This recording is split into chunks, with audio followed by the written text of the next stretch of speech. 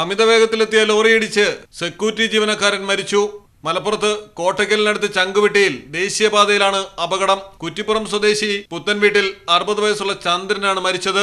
പുത്തനത്താണി ഭാഗത്ത് നിന്ന് വരികയായിരുന്ന ലോറി നിയന്ത്രണം നഷ്ടപ്പെട്ട് ബേക്കറിയിലെ സെക്യൂരിറ്റി ജീവനക്കാരനായ ചന്ദ്രനെ ഇടിച്ചു തെറിപ്പിക്കുകയായിരുന്നു ഉടൻ തന്നെ അടുത്തുള്ള സ്വകാര്യ ആശുപത്രിയിൽ എത്തിച്ചെങ്കിലും ജീവൻ രക്ഷിക്കാനായില്ല. വാഹനത്തിന് മുന്നിൽപ്പെട്ട യുവാവിനും പരിക്കേറ്റു. നിരവധി വാഹനങ്ങളും തകർന്നു.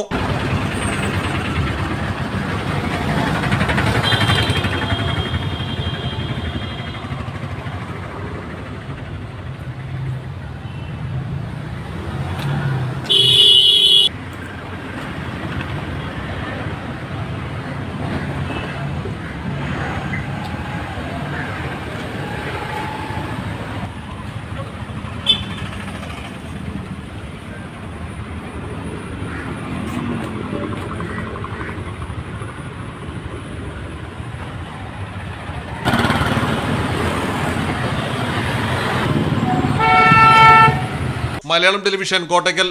ആഘോഷങ്ങളുടെ ഓണം അതിശയങ്ങളുടെയും കവിത ഗോൾഡൻ ഡയമണ്ട്സിൽ ഓരോ ദിവസവും പർച്ചേസ് ചെയ്യുന്നവരിൽ നിന്നും തിരഞ്ഞെടുക്കുന്ന ഒരു ഭാഗ്യശാലിക്ക് ഒരു ടി വി സമ്മാനം. പഴയ സ്വർണാഭരണങ്ങൾ മാറ്റി വാങ്ങുമ്പോൾ ഗ്രാമിന് ഇരുപത്തിയഞ്ച് രൂപ അധികമായി നേടാം.